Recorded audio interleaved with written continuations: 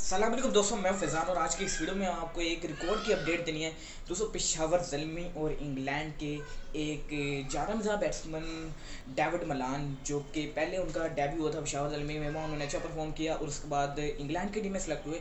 दोस्तों, उन्होंने आज इंग्लैंड की तरफ़ से फास्टेस्ट ट्वेंटी सेंचुरी बना दी और वो फोर्टी एट बॉल्स पे, जो कि किसी भी इंग्लैंड के प्लेयर की फास्टेस्ट टी ट्वेंटी सेंचुरी है।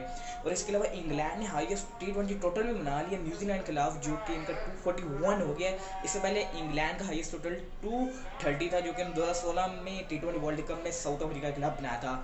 दोस्तों, यहाँ पर डेविड मलान ने जो सेंचुरी बनाई है, इसमें यहाँ पर इन्होंने छः छक्के और नौ चौके लगे जो कि एक बहुत ही मतलब शानदार इनिंग खेली